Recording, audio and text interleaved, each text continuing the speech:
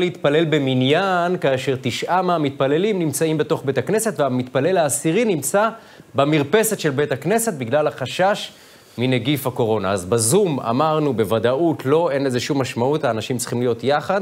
עכשיו השאלה לגבי מרפסת. מה אומר הרב?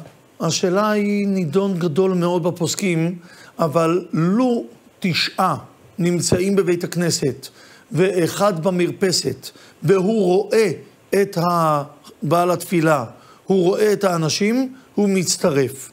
כאשר המדובר הוא במניין שמורכב מכמה מקומות, ועסקנו לצערי עם נגיף הקורונה הרבה בשאלות הללו של אה, תפילת מרפסות, הפוסקים דנו בשאלה.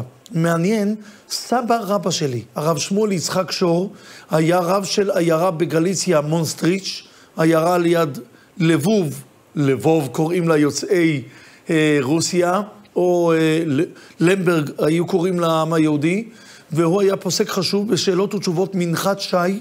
הוא כותב שם כבר לגבי הרכבת, קרונות רכבת, איך ניתן לעשות, להתפלל במניין ברכבת, כאשר ישנה הפרדה, כל אחד נמצא בקרון שלו, mm-hmm. אבל רואים אלו את אלו. והוא מתיר, והוא מגדיר שזו תפילה במניין, והוא מגדיר זאת ברגע שהם רואים אחד את השני.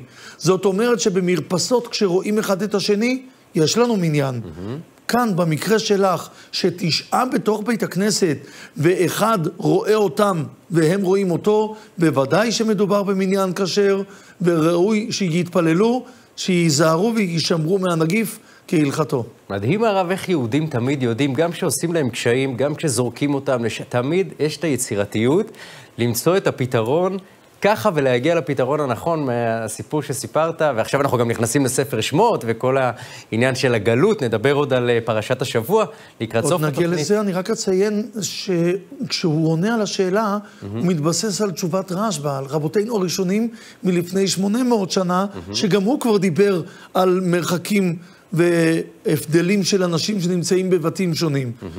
העם היהודי מחפש את הכללים של התורה.